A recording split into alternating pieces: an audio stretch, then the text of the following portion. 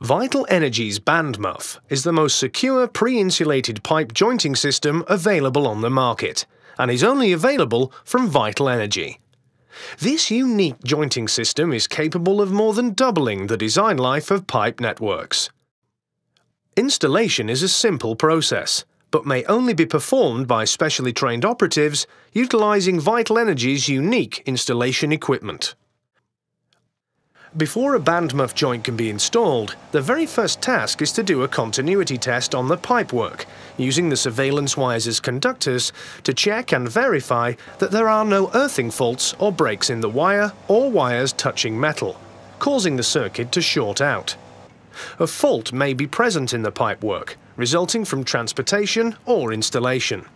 The test is passed, and the surveillance wires are crimped together securely and then soldered. The next step is to place a hydroscopic felt pad around one of the wires. Should there ever be a fracture or a fault at this joint, the pad will quickly absorb moisture and trigger the surveillance alarm. The other wire is a signal wire and is insulated from the steel pipe using these plastic bridges. The advantage of this wiring system is that a fault can be detected quickly and with the aid of an impulse reflectometer, its location found with an accuracy of within one metre of its position, meaning that it can be dealt with promptly, reducing the development of expensive future repairs. Adhesive tape is used to keep the insulators and padded wire in place until the final stages of the installation, when the wires will be surrounded with a liquid that is poured into this cavity it expands into a dense foam and sets hard to provide a layer of insulation between the inner steel service pipe and the band muff, thus creating a perfect bond between the service pipe and the muff's outer casing. A metal bar or bridge is then hammered into place. This is to support the lateral overlap of the band muff. Screws are then screwed in until they meet the steel pipe and adjusted so that a bridge is formed at the correct height to support this overlap. The protruding screws are then ground off to make a level surface. The pre-insulated pipe outer casing and the band muff are made of the same material, high-density polyethylene to help the fusion and keying of the band muff to the existing pre-insulated pipework, strips of about 15 centimetres wide around the circumference of each pipe are wire brushed to create the ideal keying surface. These cleaning strips protrude past the edge of the installed joint, enabling the final quality checks to show that the joint area was correctly cleaned prior to the installation of the joint. The lateral overlap on the band muff has the same treatment. The fusing together of the band muff and the installed pre-insulated pipework is done by passing an electric current around the muff exactly where the seals are to be made. So, for this reason, an insulation pad has to be secured over the metal bridge to prevent a short circuit. Here on the inside of the muff you can see rough or embossed strips in the form of a border. Beneath this, embedded in the plastic, is a multiple wired electric circuit. The number of wires varies depending on the size of the muff. When the current is passed through this multiple circuitry, heat is created. And at a certain temperature, it melts the polyethylene, causing it to bond and fuse with its contact layer, making one solid, unbreakable unit. The benefit of this type of wiring ensures that if a wire gets damaged during the welding process, the quality of the finished joint wouldn't be affected, unlike the joint systems offered by other companies which utilise a one-wire system. In this case, if the single wire should be damaged, then the welding process would fail and require the joint to be cut out and removed. These are the terminals on the muff that connect the electricity. A template is used to stencil in the position where the edges of the muff must overlap. This is directly above the bar or bridge. Without these marks positioning the overlap of the muff accurately wouldn't be possible. All connecting surfaces are wiped with an alcohol-based solution that removes all the dirt and grease and any residue that may interfere with the fusion process. The aim is a clean installation, which is easily achievable using this open joint system which is wrapped around the casing, thus removing the problems associated with a closed joint system. A closed joint system requires the muff to be slid into place later, when all the work is completed.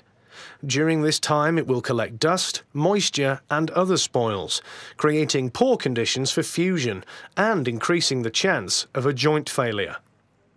The open joint band muff can be used for carrying out repairs on existing pipework and, most importantly, will not affect normal operational use. The band muff can now be put in place and aligned using the stencil marks. Once aligned, it is clamped firmly at each side, using a pneumatic fixture tool. Each clamp has an inflatable collar on its underside.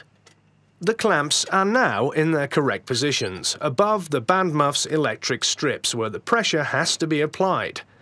Air pipes are connected and compressed air is pumped into the clamps, sandwiching the overlapping edges of the joints very tightly together.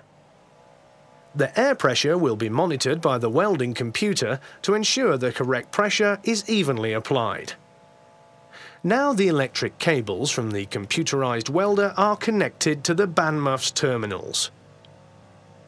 The welder is switched on and a muff report is taken from the computer screen.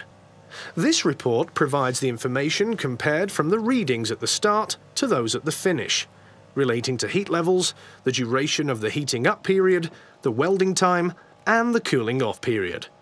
The whole process takes approximately 20 minutes. It is very important to check the resistance of the wires, as this will indicate if any wires have been damaged during the welding process. As a rule, a minimum of 80% of the wires must be intact, otherwise the joint would need rewelding. Also, rewelding would be necessary if there was an interruption of power during the welding process. After the welding process has been completed, the cables are disconnected and the air pressure is released. Now it's safe to remove the pressure bands. When the joint has cooled down after welding, it is pressure tested with air. On this particular joint, a third hole has been made on the outer casing due to the angle at which the pipe has been installed. This will ensure the joint is fully vented during the foaming process. While under air pressure, soapy water is sprayed over the welds to check for leaks. Before the joint can be filled, the electric terminals are snipped off and pushed inwards through their holes, creating an obstruction-free passage to the inner cavity. At this point, the insulation liquid compound is thoroughly mixed and funneled through the holes. This starts turning into expanding foam almost immediately, so it is critical that these special red plugs are hammered in with little delay. They act as vents releasing the air and at the same time restricting the discharge of foam. This ensures that the dense foam insulation surrounds and fills the cavity from bottom to top completely. Small amounts of foam bubble out, creating globular caps above the vent plugs. After a set period of time, these globules set hard and can be removed. The plugs, having done their job, are also removed. Any residue from the process is then cleaned off the surface. Now the fill holes are countersunk and any debris removed. An electric plug tool is used which heats the hole and its polyethylene plug at the same time. When the hole and plug begin to melt, the tool is removed and its plug extracted. The plug is then physically pressed down on the hole. After several minutes, they are fused solidly together. Soapy water is then applied around the fused plug to ensure that there are no leaks, and this completes the band muff joint installation.